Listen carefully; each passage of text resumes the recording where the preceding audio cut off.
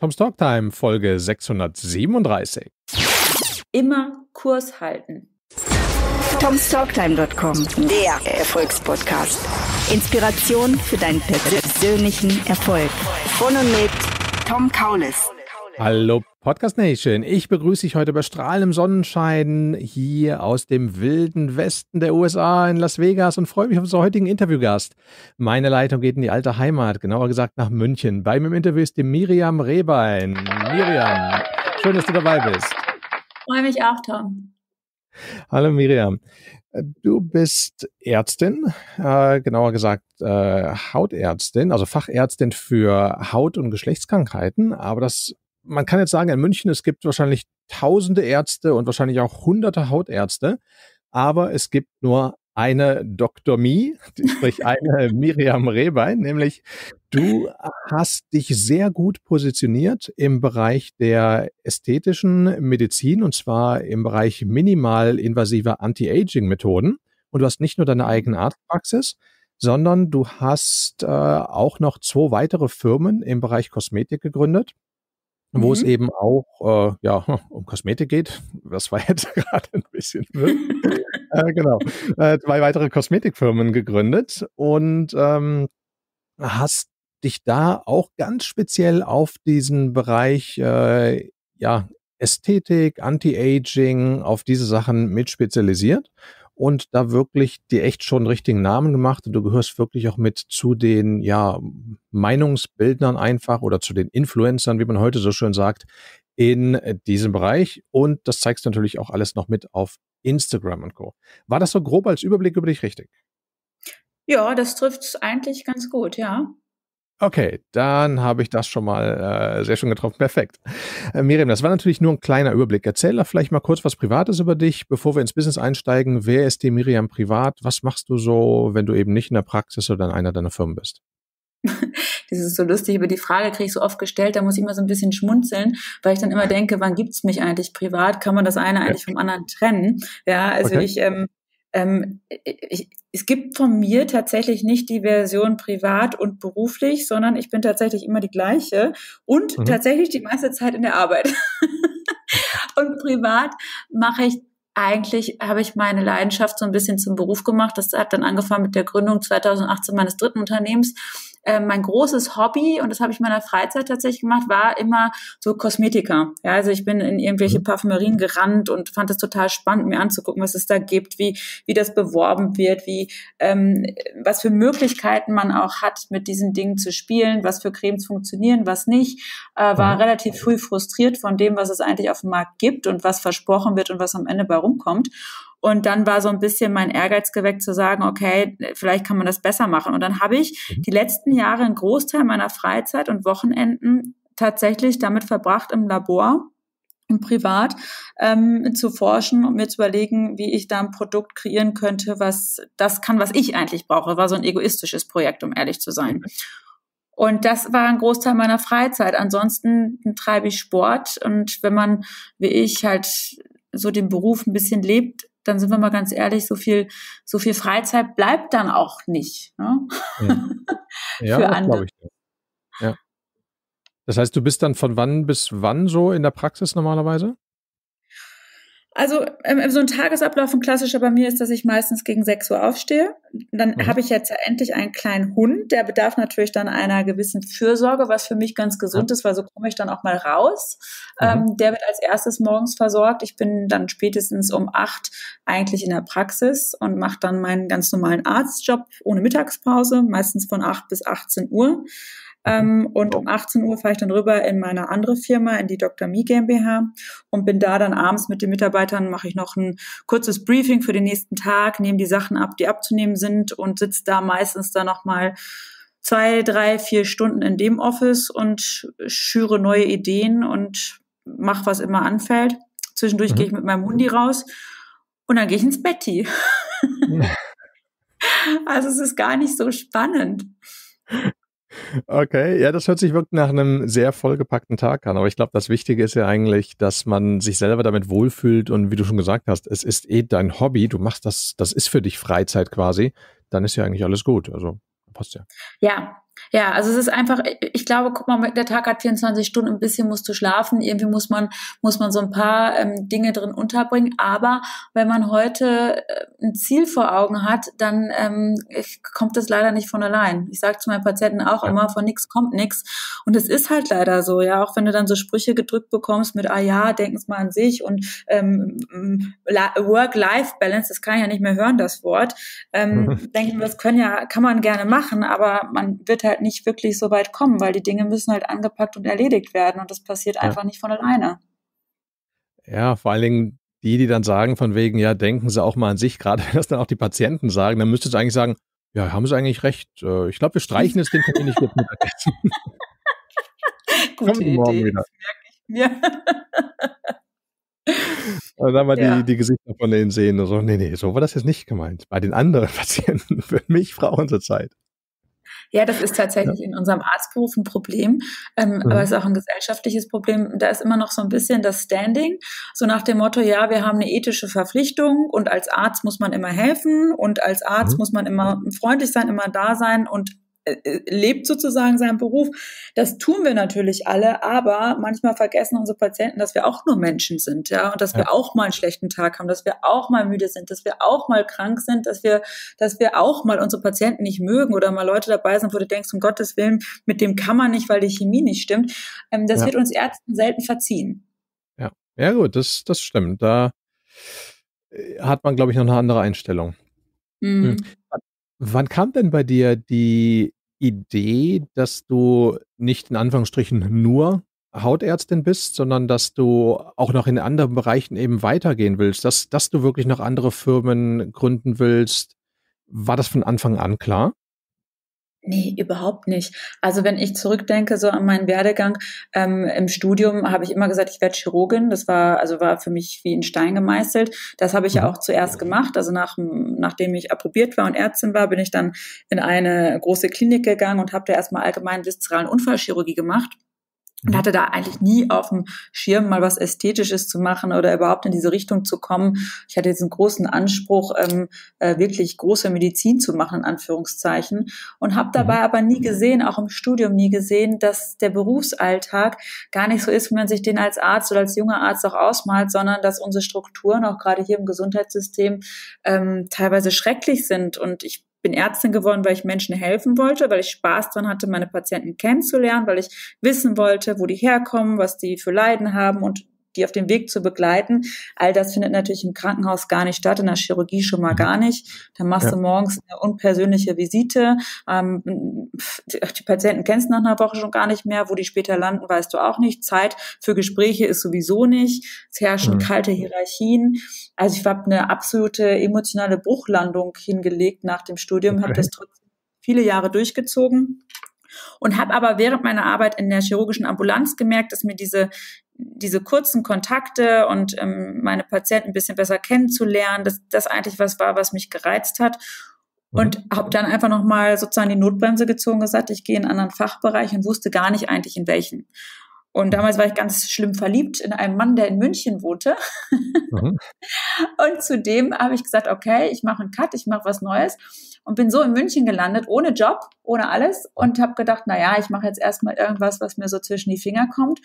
Mhm. Und da hatte gerade ein Bekannter von dem, ähm, von meinem Freund damals, der Dermatologe ist jemanden gesucht, der für ihn operieren könnte.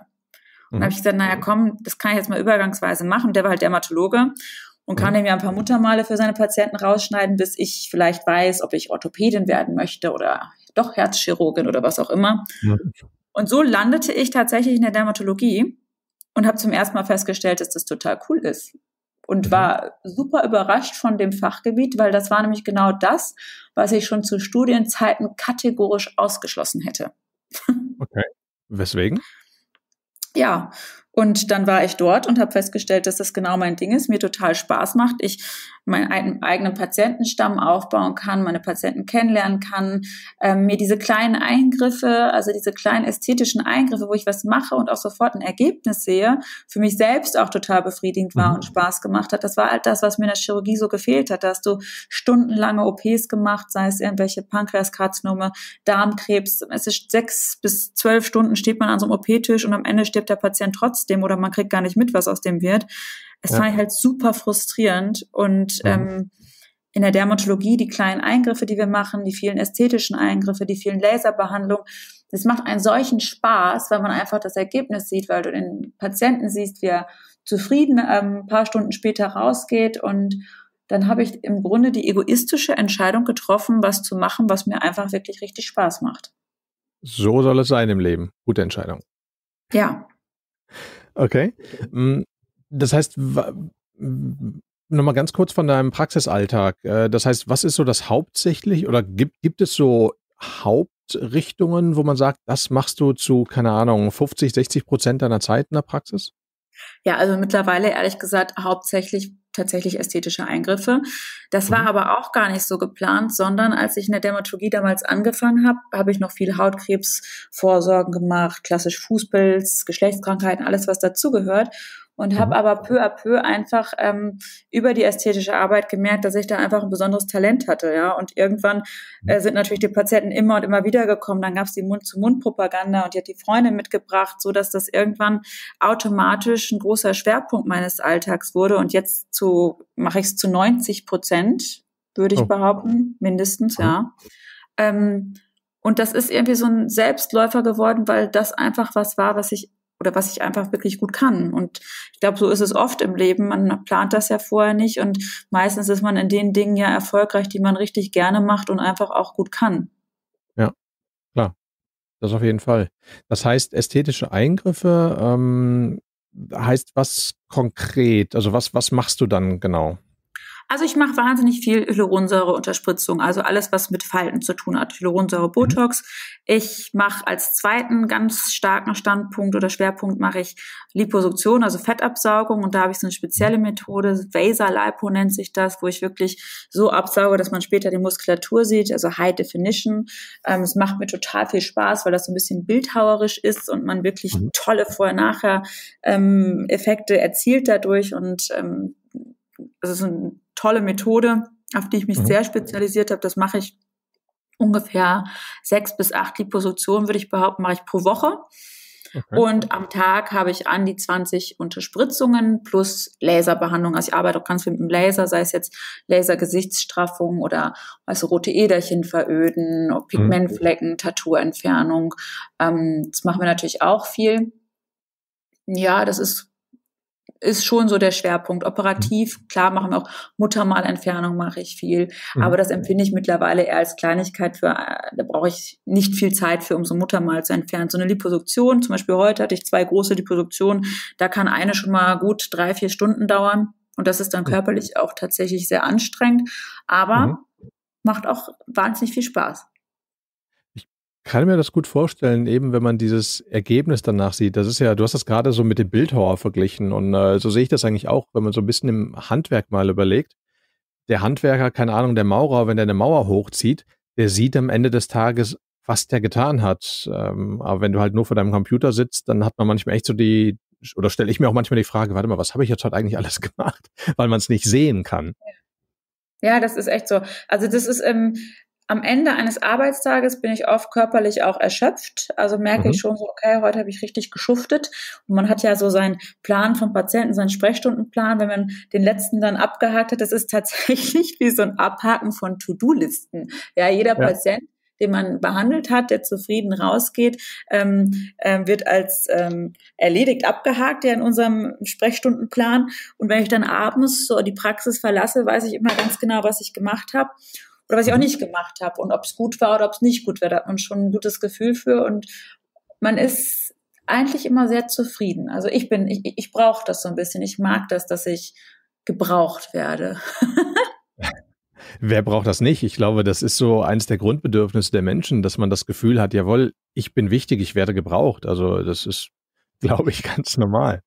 Ja, weiß ich glaube, hm. ähm, das ist wird total unterschätzt, weil viele Menschen, die so unzufrieden sind und Depressionen haben oder gerade ich sehe das häufig bei Senioren, die dann den Beruf aufgeben und keine Aufgabe mehr haben, die werden ja auch schnell alt und sind oft irgendwie vereinsamt, ein bisschen auch, auch seelisch so ein mhm. bisschen vereinsamt.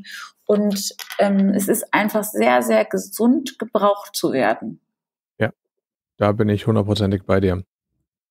Wenn wir uns deine, die, bleiben wir nochmal kurz bei der Praxis, bevor wir zu den anderen Firmen rübergehen. Wenn wir uns nur mal die Praxis rein betriebswirtschaftlich anschauen, aus unternehmerischer Sicht, was ist als Unternehmer gesehen das Pro, ja, Produkt, Schrägstrich Dienstleistung, wie auch immer man das nennen mag, ähm, was am wirtschaftlichsten ist für dich? Mm, ganz schwer zu sagen. Ähm, man würde ja denken, so die Liposuktion, weil die natürlich hochpreisig sind. Andererseits sind die sehr äh, zeitintensiv und auch in mhm. Materialschlacht. Du brauchst ja alle sterilen OPs und Anästhesie und, und, und. Ähm, mhm. und da bleibt unterm Strich, also wenn ich es jetzt wirtschaftlich sehe, muss alle Kosten abziehen und die Zeit und Arbeitszeit und ähm, nach Steuer in Deutschland. Oh, bleibt da komischerweise unterm Strich echt am wenigsten hängen. Genauso ist das oh. bei den ganzen Hyaluronsäureunterspritzungen, weil ich arbeite mit nur wirklich ganz hochwertiger Hyaluronsäure und die ist im Einkauf sehr, sehr teuer. Ich könnte natürlich auch für fünf Euro koreanische einkaufen, dann sähe das wieder anders aus unterm Strich, aber ähm, also da sind wir einfach ethisch viel zu korrekt, als dass man das äh, verkraften würde. Mhm. Und deshalb sind es Laserbehandlungen. Ja, da hast du einmal die hohen Anschaffungskosten von so einem Laser, aber der hat dann keine weiteren Zusatzkosten mehr. Okay, und, und eine Lebenszeit von etlichen Jahren. Ja, ja. Okay.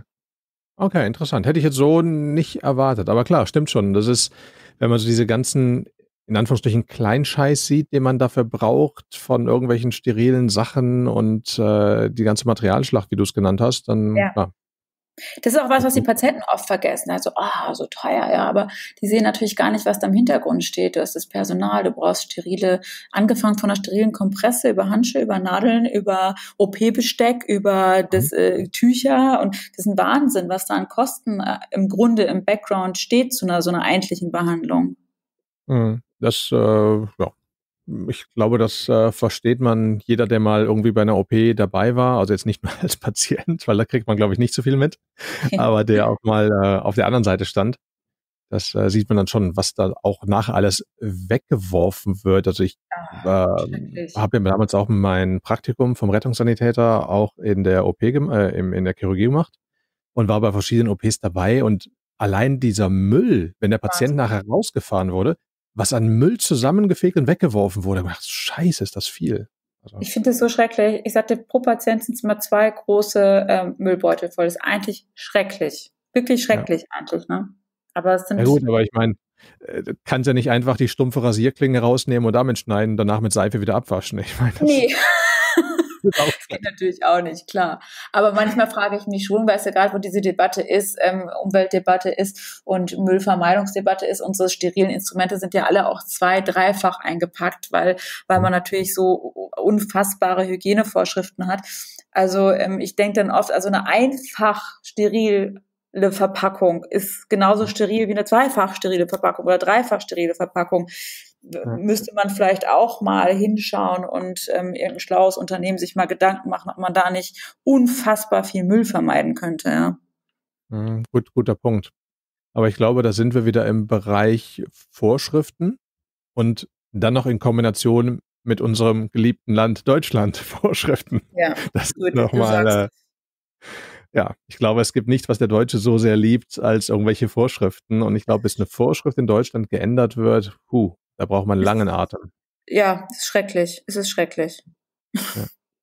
Ja, gut, aber wie gesagt, es, es ist, wie es ist. Äh, springen wir rüber zu den anderen Firmen. Äh, sag doch mal schnell was dazu. Das heißt, auf der einen Seite haben wir die Arztpraxis und auf der anderen Seite haben wir noch zwei Kosmetikfirmen. Was machen die, diese beiden Firmen?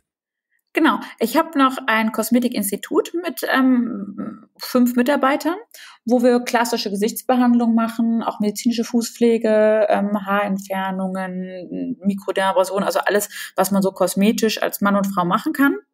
Ähm, und dann habe ich ein ganz anderes Unternehmen noch, ganz unabhängig von den beiden. Das ist die Dr. Mi GmbH. Und das ist ähm, meine Firma, und ich produziere meine eigene Skincare, also meine eigene Hautpflegeserie. Ähm, das mache ich komplett hier in München. Das ist wirklich von, von der Rezeptur über die Verpackung, über den Versand, äh, alles in Eigenregie, alles selbst designt, zusammengestellt, kreiert. Das war halt mein Herzensprojekt, eigentlich mein Hobby damals. Ich hatte ähm, auf dem Frust der nicht vorhandenen guten Cremes angefangen, so ein bisschen mit Rezepturen rumzuspielen und hatte damals einen Apotheker, mit dem ich für mich selbst eigentlich eine super Creme mischen wollte. Wir wissen ja, was funktioniert und was nicht funktioniert. Gibt es ja mhm. genug Studien zu und wir wissen, Retinol funktioniert. Gibt es mittlerweile, ich glaube, über 60.000 Studien, die das belegen. Die Amerikaner wissen das viel besser. Also ich glaube, wenn du in Las Vegas mal kurz in den Supermarkt gehst und guckst mal morgen, wirst du an mhm. jeder Ecke irgendein Retinolprodukt finden. Da werde ich Weil dafür nämlich Retinol ja, heißt das? Retinol, ja, Vitamin A-Säure sozusagen. Okay. Schau mal morgen und äh, bin ich gespannt. Ähm, und dafür wurde schon in den 30er Jahren ein Nobelpreis verliehen für die Entdeckung von dem Retinol, weil mhm. das eben so gut funktioniert. Also das hat richtig Anti-Aging-Power, das regt die Kollagenneubildung irrsinnig an. Man kann sich sozusagen damit konservieren. Gibt super spannende Studien zu. Und jetzt habe ich mich immer gefragt, wenn das so super funktioniert, warum benutzt das nicht eigentlich jeder und warum ist das eigentlich nicht überall drin? Und da mhm. kam dann so der Haken an der Sache weil zum einen gibt es ja diese europäische Kosmetikverordnung, die besagt, in einem Kosmetikprodukt darf nichts drin sein, das wirkt. Okay. Sobald es wirkt, ist es Medizinprodukt. Weil ah. wo Wirkung, da Nebenwirkung. Okay. Das ist das erste Problem. Und Retinol wirkt halt wirklich, deswegen ist es nicht wirklich überall drin. Und das zweite Problem ist, weil es wirkt und Nebenwirkung hat, hat es immer so für starke Irritationen an der Haut gesorgt bei den Patienten, die es benutzt haben, so mit Rötung, Abschälen, Schuppen. Und das war eigentlich diese unerwünschte Nebenwirkung. Und das war damals für mich so der Punkt zu sagen, Mensch, es wäre so cool, wenn man diesen Wirkstoff in irgendeiner Form in die Tiefe der Haut bringen könnte, ohne dass man diese Nebenwirkung hat. Und das mhm. habe ich mit so einem Apotheker und Laborpartner zusammen lange ausgetüftelt und darauf dadurch haben wir so ein Verkapselungsmolekül entwickelt, was das Retinol verkapselt, dann in mhm. die Tiefe der Haut schleust und sich da erst entfaltet. Dadurch ist es super wirksam, hat ähm, kaum Nebenwirkungen, also ein bisschen trockene Haut am Anfang, was sich aber später behebt und hat maximalen Effekt. Und als ich das hatte, habe ich natürlich gedacht, oh super cool, habe das gleich alles angemeldet und dachte, ja, das mische ich mir jetzt immer. Dann habe ich das immer mir nur gemischt und dann haben meine Patienten gesagt, oh, kann ich das auch mal bekommen? Dann habe ich angefangen, für die das zu mischen und äh, sozusagen ein bisschen abzufüllen. Und dann dachte ich, ich muss das jetzt eigentlich mal in eine richtig vernünftige Bahn bringen und ja. ähm, in größeren Stückzahlen mischen. Und so war dann die Dr. Okay. geboren. Bei den Kosmetiksachen, da frage ich mich halt auch oft, wenn man mal so in der Fernsehwerbung oder irgendwo online das sieht, wenn irgendwelche Hautcremes vorgestellt werden für glatte Haut, dann guckt man sich aber die Protagonisten an, die, die Mädels, die sich dann die Haut, äh, die die Creme aufschmieren und denkt mir so von wegen, Alter, die sind doch eh gerade mal 16, natürlich haben die keine Falten. Also, ich ja, meine, das ist so. Äh, echt, oh. also, hm. Du, das, wenn du noch weitergehst, es gibt ja dieses Portal PubMed heißt das, ähm, Online-Portal. Da werden alle Studien, äh, medizinisch-wissenschaftlichen Studien veröffentlicht. Ähm, also kannst du jedes Thema eingeben, bekommst ein Abstract. Ähm, wenn du da Retinol eingibst, wirst du erschlagen mit Studien, die belegen, dass es einfach funktioniert. Und zwar schon seit den 30er Jahren. Und gleichzeitig, wenn du mal Moisturizer eingibst, also Feuchtigkeitspflege, findest du etliche Studien, die belegen, dass Feuchtigkeitspflege uns sogar schneller altern lässt, also sogar richtig kontraproduktiv ist. Und es lässt mich immer so schmunzeln, wenn ich auch diese ganze Werbung immer sehe, wo, wo dann steht Feuchtigkeit und hier und mehr Feuchtigkeit und super für meine Haut, wo ich mir denke, es ist eine solche Verarsche, sorry, am Endkunden, weil es ist nicht nur, dass es dich, äh, dass es kontraproduktiv ist, es beschleunigt im Grunde den Alterungsprozess. Und das wissen wir ja sogar alle. Jeder mhm. weiß, dass man Babys nicht großartig eincremen soll, weil das sozusagen die eigene Hautbarriere ähm, schädigt. Ja, aber warum machen wir Erwachsenen das dann plötzlich? Warum fangen wir an, uns Feuchtigkeitspflege ins Gesicht zu klatschen? Und jede Frau hat schon die Erfahrung gemacht, dass es anfangs sich gut anfühlt und du dann gefühlt immer mehr brauchst. Ja, dann hast du auf einmal das Gefühl, alles klar, jetzt bist du 40, jetzt brauchst du eben Anti-Aging Level 3 und dann wird das schon wieder, reicht das nicht. Und das liegt einfach daran, dass die Haut sich dran gewöhnt, wenn du von außen immer Feuchtigkeit zuführst und die Eigenproduktion einstellt. Und ähm, ich will das jetzt nicht als Masche der Kosmetikindustrie betiteln, aber es ist, äh, äh, also ich glaube, jede Frau hat das bei sich selbst schon beobachtet und wir wissen, dass das Einzige, was wirklich richtig Anti-Aging machen kann und Hautstrukturverbesserung macht, Vitamin A-Produkte sind, ne? also Retinol. Okay. Hm, ja gut, ich denke, das ist wieder diese, dieses Thema, du bist halt in einem extrem reglementierten Markt, spielst du halt mit. Das macht es, glaube ich, nochmal um ein Vielfaches schwieriger, als wenn du ein Unternehmen gründest oder ein Unternehmen führst, was eben nicht in so einem stark regulierten Markt unterwegs ist. Unterwegs ist. Ähm, ja, beziehungsweise die ähm, Kosmetikindustrie, ich bezeichne sie immer so wie die Tabakindustrie als Mafia. das ist die natürlich nicht. Aber guck mal, wenn man sich selbst, ich weiß nicht, wie es bei dir ist, aber wenn du dir überlegst, was du im Laufe des Lebens an Kosmetikprodukten gekauft hast, sei es jetzt Cremes, Duschgel, Shampoo, I don't know, ja, wie viel mhm. Geld man in diese Kosmetikindustrie jeder Einzelne selbst schon ausgegeben hat, das ist Wahnsinn. Das ist Wahnsinn. Ja. Wenn, wenn jetzt irgendjemand mal sein, sein Badezimmerschrank aufmacht und guckt da rein, was sich da an Schätzchen sammelt über die Jahre, das ist irre, ja. Das ist natürlich eine, eine absolute boomende Branche und ähm, die verdienen da ein Heidengeld, diese großen Kosmetikkonzerne, das, das, das ist unfassbar, was die für Gewinnmargen haben. Ja, ja, das, äh, das glaube ich. Also ich äh, denke mal, ich bin wahrscheinlich noch einer der schlechteren Kunden, aber wenn ich jetzt mal bei meiner Mama geschaut habe, äh, bei ihr, wie es im Bad dann so im Badschrank aussah, was da alles an Cremes und Duschgels und was weiß ich nicht alles drin stand, habe ich mir auch gedacht, mein Gott, die könnte eine eigene Drogerie aufmachen mit dem Zeug. Also, ja. Das ist äh, ja schon einiges. Ja, ähm, okay. Wenn wir die, uns die anderen beiden Firmen jetzt anschauen, das äh, Cosmetic Studio, also wo du hier so die Fußpflege mhm. und sowas machst, und die, äh, die Firma für die Hautpflegeprodukte. Was kann man mhm. da sagen? Ist das wir rein wirtschaftlich betrachtet das lukrativere Produkt, äh, Firma? Äh, äh definitiv die Kosmetikfirma, also Kosmetikprodukte. Definitiv. Okay deutlich lukrativer, weil das Problem ist, dass in so einem Kosmetikinstitut hast du ja immer One-to-One-Session. Also eine Kosmetikerin behandelt mhm. eine Stunde lang einen Kunden und die Behandlungen sind ja nicht hochpreisig. So eine Fußpflege kostet vielleicht 69 Euro mit allem drum und dran. Das heißt, diese eine Arbeitskraft eine Stunde lang kann nur 69 Euro erwirtschaften. Und jetzt kostet die Arbeitskraft, jetzt kostet das, was man an Material da hat und Räume und Co. Ähm, schwierig damit ähm, für mich ist das eher, das ist tatsächlich fast eher ein Hobby. Ähm, Gott sei mhm. Dank verdient die Firma jetzt ein bisschen Geld, weil das Finanzamt wollte, wollte es mir schon einstellen als Liebhaberei. Habe ich vorgeschlagen, ich würde dann einfach weniger Steuern nehmen, wäre es besser. Ja. Ähm, also das ist tatsächlich, ähm, das mache ich so ein bisschen aus Leidenschaft und Überzeugung, aber damit verdiene ich kein Geld. Mhm. Okay. Jetzt hast du ja drei Firmen, wenn wir die Arztpraxis auch mit als Firma mal bezeichnen. Das heißt, du hast ja. drei Firmen, drei Unternehmungen äh, laufen. Mhm. Und das hört sich ja jetzt so nach einer kleinen Erfolgsstory an. Da kommt die junge Ärztin gerade von der, von der Uni, hat, hat ihren Doktor gemacht, hat ihre erste Stelle in der Chirurgie, hat ihr nicht gefallen und dann stolpert sie zufällig ins Glück und von da ab läuft alles super rund und äh, bis an ihr Lebensende ist sie dann glücklich. Ähm, wie, wie war das wirklich alles so rund gelaufen oder gab es da auch mal wirklich so einen großen Fehler, wo du gesagt hast, Mensch, da habe ich jetzt so tief in die braune Soße gegriffen, das hätte jetzt echt nicht sein müssen. Und wenn ja, was ist da passiert? Also weißt du, wenn ich so zurückbitte auf meinen Blick auf mein Leben, ich hatte eigentlich, also ich könnte echt ein Buch schreiben. Ich habe so viele absurde Sachen erlebt und äh, ich habe so viele Abende meines Lebens heulend auf meinem Sofa gesessen und gedacht, das kann alles nicht wahr sein, das ist alles zu viel, dieses Leben. Ähm, ich habe so oft, ich sag's wie es ist, auf die Fresse gekriegt und habe mhm. so oft gedacht, ähm, ich, ich, ich mag eigentlich gar nichts mehr machen.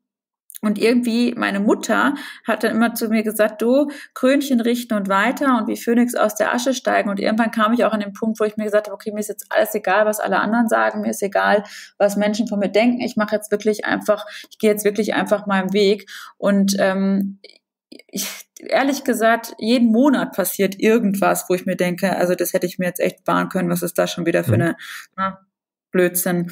Ähm, äh, ich weiß, ich glaube, es geht jedem Menschen ein bisschen so, dass man manchmal euphorisch Dinge anfängt und ist davon überzeugt und mhm. alles, was mir Negatives passiert ist, war meistens menschliche Enttäuschung. Also es war meistens, dass ich zum Beispiel ähm, irgendeinen Ex-Chef ähm, bewundert habe und toll fand und dann feststellen musste, man wurde ausgenutzt. Oder ähm, mit der Dr. Mi jetzt gerade hatte ich ganz am Anfang eine schreckliche ähm, Erfahrung. Ähm, andere haben, glaube ich, schon eher gewittert, dass das ein tolles Unternehmen werden könnte. Und ähm, dann sind das so Freunde von Freunden, die einem dann Hilfe anbieten und sagen, hey, wir sind ganz toll im E-Marketing, wir machen für dich das Online-Marketing und mhm. ähm, das wird super, wir helfen dir damit, dass du da überhaupt was verkaufen kannst. Du musst auch gar nichts zahlen, nur von den Verkäufen, die wir für dich machen, bekommen wir dann 25 Prozent. Und mhm. ich, mhm. blauäugig wie ich war, habe gedacht, na ja, wenn die das verkaufen und wollen dafür Provision und sonst muss ich das nicht zahlen, das ist ja total klasse. Ja, und das war sagen, hört sich ja erstmal gut an. Ja, klar. Ne, klingt gut und das ist auch noch der Freund von meinem bis dahin besten Freund gewesen. Also habe ich gesagt, ja klar, machen wir das. Da hat er gesagt, du, du musst mir das aber noch hier unterschreiben, dass ich das dann auch darf. Und also das war mein größter Fehler, den ich nie wieder im Leben machen würde. Nie wieder, egal wie gut man befreundet ist, verwandt, sonst was, einen Vertrag nicht gründlich zu lesen. Also das traue ich mich ja gar nicht, oh. schäme mich das laut zu sagen. Und dann kam tatsächlich raus ein völliger, also eine solche miese Nummer, weil die haben dann nicht nur die 25 Prozent von dem gewollt, was die hätten was die verkauft hätten, sondern einfach mhm. von allen meinen Umsätzen. Am Ende wow. war es so, dass die gar nichts verkauft haben. Also die haben überhaupt nichts gemacht, haben nichts verkauft und haben dann gemeint, ähm, ich würde ihnen jetzt so und so viele Tausende von Euros schulden. Die haben einfach alle meine von mir mühsam nachts und mit Instagram und eigenen Videos gedrehten Umsätzen haben und gesagt, das würde denen zustehen. Dann war die Firma von denen auch noch auf Malta gemeldet und ich glaube, mehr brauche ich gar nicht mehr sagen. Also solche ich, es war schrecklich. Ich habe geheult, weil ich wirklich dachte, wie kann man so mies sein? Ich, ich ja. schufte und habe keine Freizeit, schlaf nachts nur manchmal vier Stunden in der Gründungszeit und habe mein ganzes ja. Herzblut und Leidenschaft und meinen ganzen Enthusiasmus da reingesteckt. Und dann kommen solche Arschlöcher, ja, ich kann es nicht ja. anders sagen, und stellen sich da und sagen, so, wir kriegen jetzt hier äh, 100.000 Euro von dir. So, sowas verstehe ich auch nicht. Also im ersten Moment, wo du gesagt hast, dachte so, ach ja, ist doch eigentlich ein guter Deal. Wenn ja. man wirklich einen Vertriebler hat, der rein auf Provision arbeitet, hat man keine Kosten dadurch und der kriegt halt das, was er verkauft. Ist ja ein ja. fairer Deal an sich. Aber dann ja. so eine Nummer abzuziehen, das ist schon. Ey, Tom, also so schlimm. Das hat mich menschlich so fertig gemacht, weil ich da wirklich bin immer so gutgläubig und ähm, da habe ich zum ersten Mal gemerkt, okay, ähm, bei Geld hört die Freundschaft aus. Dieser alte blöde Spruch, Anscheinend ja. ist es so, weil die haben dann gesehen, okay, das Unternehmen funktioniert und floriert super und sitzen da, ähm, äh, in, er sitzt in Portugal, seine Firma ist in Malta gemeldet, also auch noch irgendwelche ominösen Konstrukte, das habe ich natürlich dann alles erst später gecheckt, doof wie ich war. Und das war ähm, für mich persönlich total verletzend und hat ja. mich aber aufgeweckt als Unternehmerin, dass man leider alles, man kann, Vertrauen ist gut, Kontrolle ist besser, so schlimm dieser Spruch ist, aber leider ist das so. Das auf jeden Fall, ja. Wobei ich so ein bisschen jetzt zumindest, äh, die, ich sag mal, Firmenkonstrukte so ein bisschen in Schutz nehmen will, weil gerade bei Online-Firmen macht das natürlich schon Sinn, dass du dir das Land aussuchst, wo der Firmensitz ist. Äh, klar, ich meine, natürlich gibt's auch immer schwarze Schafe, die sowas ausnutzen. Aber ich sag mal, rein aus Regulierungs- und natürlich auch aus steuerlichen Gründen, wenn man die Möglichkeit hat, gibt's äh, ich sage es mal vorsichtig, attraktivere Firmenstandorte als Deutschland, um es nett auszudrücken. Das mag sein, nur weißt du, die Leistung wird hier in Deutschland erbracht. Er ist eigentlich auch Münchner, ja. ist dann aber nach Portugal ausgewandert, warum auch immer. Später kam raus, hat noch etliche komische andere Firmen gehabt, die alle geschlossen wurden, ähm, okay. operiert dann von Singapur, Portugal, München. München wurde dann die Niederlassung geschlossen. Äh, Firmensitz mhm. ist dann aber in Malta, das ist aber nur ein Briefkasten. Ähm, also ich habe es ja dann alles rausbekommen, weil ich natürlich mich ja. dann rechtlich dagegen gewehrt habe und ähm, mir hier einen Anwalt genommen habe und so erst hinter diese ganze, dieses ganze Konstrukt kam. Tatsächlich ist der ja. Typ aber regelmäßig in München weißt du, irgendwo muss das Ganze ja auch ja. an. Ich gebe dir recht, bei dem ich weiß auch, was du meinst, das ist vollkommen richtig. Aber ich finde, wer seine Leistung und sein Geld aus Deutschland bezieht und ähm, Leistungserbringer auch das Land hier ist, hat man auch das hier zu versteuern. Ja, kannst du das, das, ist, das ist halt einfach nur fair. Wo kommen wir sonst ja. hin, wenn alle so arbeiten? Na, geht auch nicht. Das ist richtig. Also wenn ich, wenn ich wirklich dann auch in diesem Land lebe ähm, und dort auch wirklich meine Firma habe und dort alles nutze, klar, dann ähm, ja. ja. Dann sollte es so sein. Das ist richtig. Ja, aber gut. Ja, das ist schade, sowas. Das, äh, vor allem, das macht einen natürlich auch irgendwo so ein bisschen kaputt ähm, für, für künftige Kooperationen. Ja, nämlich hat das vor allen Dingen so demotiviert, weil ich hatte mir gerade in dem ersten Jahr, was ich habe ja alles alleine gemacht. Ich hatte, ich war wirklich ja. eine One-Woman-Show in dem Unternehmen. Ich hatte da noch keine Mitarbeiter. Ich habe in der Praxis den ganzen Tag zwölf Stunden gearbeitet. Dann bin ich hierher gefahren, habe äh, Produktdesign gemacht, habe die Verpackung selbst ausgesucht, habe jedes Paket ähm, noch selbst verpackt, habe immer weiter überlegt, neue Produkte gemacht, Sachets gemacht, die Broschüre habe ich selbst geschrieben und gebunden und bei Flyalarm, was ich wirklich alles in Eigenregie, nachts, Wochenenden, jede freie Minute gemacht und die Pakete mhm. noch selbst rausgeschickt. Und auch Marketing mache ich komplett alleine. Ja, also ich mache Instagram pflege ich wirklich komplett selbst. Die alles an, an, an Interviews, die ich vielleicht sonst so im Magazin und so gebe oder TV-Drehs, die ich mache, das mache ich wirklich alles selbst. Und ich habe mir sprichwörtlich ja. A aufgerissen. Und dann kommt da so ein Typ daher, der gar nichts, also wirklich nachweislich, es wird ja alles dann geklärt und konnte alles belegt ja. werden, nachweislich null Euro umgesetzt hat, hat die Dreistigkeit, sich weißt du, so mit fremden Federn schmücken ah, empfinde ich das Das, das macht man nicht. Nee, genau, das war richtig unschön. Also es hat mich, oh, es hat mich richtig fertig gemacht, echt. Ich, ich, ich glaube auch, dass es äh, sowas ist dann, glaube ich, gar nicht mal so sehr die monetäre Enttäuschung, wo man sagt, das hat mich jetzt so und so viel tausend Euro gekostet, sondern ich glaube viel, also zumindest für mich persönlich wäre das viel schlimmer, diese menschliche Enttäuschung, die dahinter steckt. Das ist, glaube ich, das, ja. was, weil an, an dem Geld, ja, klar, natürlich ist das ärgerlich, müssen wir nicht drüber reden, aber da kann man, glaube ich, einen Haken dran machen, weil da hängen keine Emotionen dran. Aber diese menschliche Sache, das, äh, das, du, ja. aber das Menschliche und an dem Geld hängen auch Emotionen, weil ich sag dir was, bevor ich so jemandem das Geld für nichts und wieder nichts gebe, spende ich es lieber oder ähm, gib's meiner Mutter, die einen Gnadenhof für Tiere hat, äh, wo es gut ja. aufgehoben ist, oder gib's ein Kinderkrebshospital, whatever, weißt du, da fallen mir tausend Sachen ein, die sinnvoller und emotional wertvoller wären als sowas, ja. Das, das auf jeden Fall, das ist richtig. Aber gut, ähm, wir sind alles nur Menschen, wir lernen aus unseren ja. Fehlern und also hoffentlich, die meisten zumindest, und äh, machen den gleichen Fehler halt nicht ein zweites Mal. Und hast du ja auch gesagt, das wird dir nicht mehr passieren. Never. Jetzt wird paranoid, jeder Vertrag wird von sechs Seiten und äh, wir haben, ich habe jetzt ein 24-Augen-Prinzip eingeführt. Ja. genau. Sehr cool. Miriam, äh, das war bisher wirklich schon eine, echt eine coole Story, sehr interessant alles. Kommen wir jetzt zu unserer Blitzlichtrunde. Hier stelle ich dir eine Reihe von Fragen und deine Aufgabe steht darin, äh, möglichst schnell, spontan und kurz zu antworten, okay? Ja. Los geht's. Was hat dich ursprünglich davon zurückgehalten, Unternehmerin zu werden? Alle anderen Menschen. Was war der beste Ratschlag, den du jemals erhalten hast? Immer Kurs halten. Was ist deine größte Stärke als Unternehmerin? Uh, nie müde, unglaubliche Energie. Was ist deine größte Schwäche als Unternehmerin? Das gleiche, unermüdlich und wenig Rücksicht mit äh, meinen Mitarbeitern.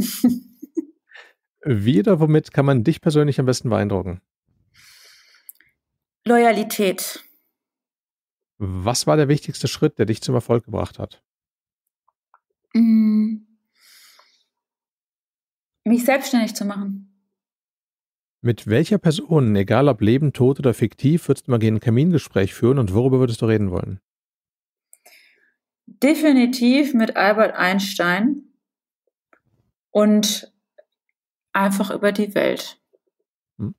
Vervollständige den Satz, Erfolg bedeutet für mich Freiheit. Welche Internet-Resource hat für dich persönlich einen hohen Mehrwert? Äh, Instagram. Welches Buch liest du aktuell oder hast du als letztes gelesen? Worum geht es darin und kannst du es empfehlen? äh, zuletzt gelesen habe ich Molly's Game im Urlaub. Ähm, mhm. War very entertaining und ziemlich cool, ja, kann ich empfehlen. Und es geht darum, um die Molly, die ähm, die Pokerspielerin oder die Pokerkönigin in ähm, Amerika war, in LA und mit den ganzen Größen aus Hollywood sozusagen eine äh, mehr oder weniger illegale Pokerrunde hatte. Podcast Nation. Das Buch verlinken wir natürlich in den Show Notes. Und wenn du auf Hörfutter stehst, dann hol dir jetzt gleich dein kostenloses Hörbuch auf tomstalktime.com slash audiobooks. Dort kannst du dir fast jedes Audiobook im kostenlosen Probeabo runterladen. tomstalktime.com slash audiobooks. Zum Schluss noch zwei recht persönliche Fragen. Was ist dein größter bisher noch unerfüllter Lebenswunsch? Kinder. Da drücke ich dir die Daumen, dass das in, äh, ja, was ist absehbarer Zeit, in der Zeit kommt, wenn du es dir, äh, wenn du es dir wünschst, sagen wir so. Ja. Die letzte Frage. Welche drei Tipps würdest du deinem 18 oder 20 Jahre altem Ich, das was heute lebt, mit auf den Weg geben und warum genau diese Tipps?